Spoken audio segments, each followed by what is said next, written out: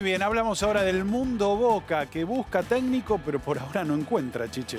Se la pasa llamando por Sí, claro. teléfono, llama, llama a Román y no encuentra entrenador. Bueno, él tenía pensado el Tata Martino, el Tata Martino finalmente le soplaron mal porque le habían dicho que iba a agarrar.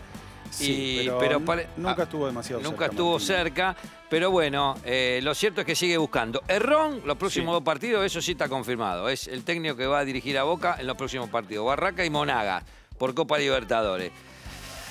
¿Quién está libre de jerarquía?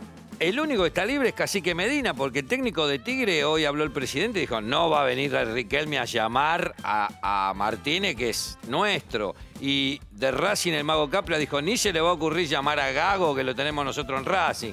Así que no creo que llamen a algún técnico que tenga trabajo. Hoy se postuló Caruso Lombardi y armó un equipazo eh, con el plantel de Boca. Y también se postuló Migliore. Sí. eh, para técnico de Boca. Veremos por quién se define. Algún técnico va a tener que contratar en los próximos días Sí, claro. y cada vez se le va achicando. El que está apto para dirigir y tiene ganas, a pesar de sus 73 años, todavía tiene ganas de estar en el día a día, es Peckerman. Bueno, ¿y Peckerman gusta en Boca o no? Gusta, pero, no sabemos si tanto. o selección, Peckerman? Por eso. Son dos cosas, dos Él quería la selección, eso, pero ¿no? estaría dispuesto Claro. a dirigir el día a día. Boca te come vivo, ¿viste cómo es? Sí, Hay que estar todo el día. Pero bueno, veremos qué pasa.